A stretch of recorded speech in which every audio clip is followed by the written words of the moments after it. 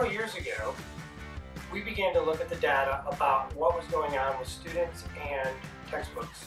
It was clear that the system is broken. This was a really good like program that they have because I didn't have to worry about ordering the right books for my right classes, getting them in on time, paying for them. I know that's expensive, so I just showed up, grabbed my books, and 30% of our students overall were going without all books, and 70% of our students were going without at least one. With the push towards looking at how do we get students to persist, it was clear that this particular thing was being left to students' decision between books or food, or books or something else. And we needed to make sure that our students, especially the ones who are most at risk, have all the tools that they need to succeed. It sounds easy. It sounds like a no, no-brainer, but it's not. This crate belongs to you. This is your, your welcome packet. Anything about ebooks is on this page. Um, there's also return information in this packet. It was quick and easy to get my books. I walked in, I got checked in, grabbed my little crate here with all my books in it, and I was out in under like, I don't know, a minute.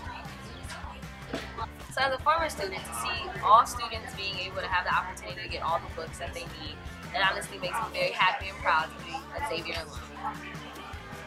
There's a lot of things at play. The system is indeed broken, and between the publishers and the secondary market, um, it took quite a bit of, of work to get those entities to come together and two years of negotiation to get a model that would work at Xavier University.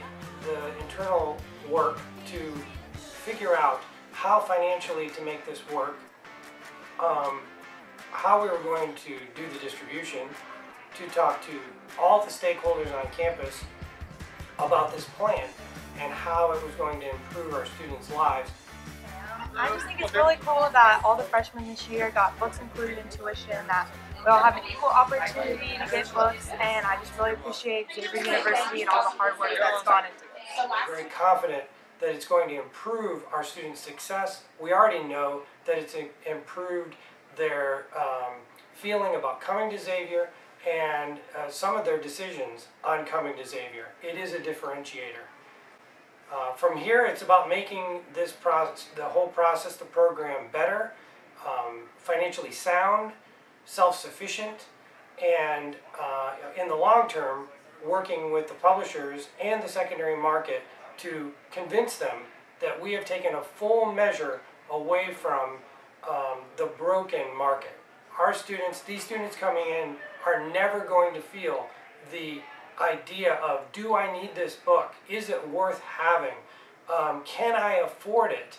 Uh, all of those choices that they've been making for such a long time now, we've taken those decisions now, and this is going to be a game changer.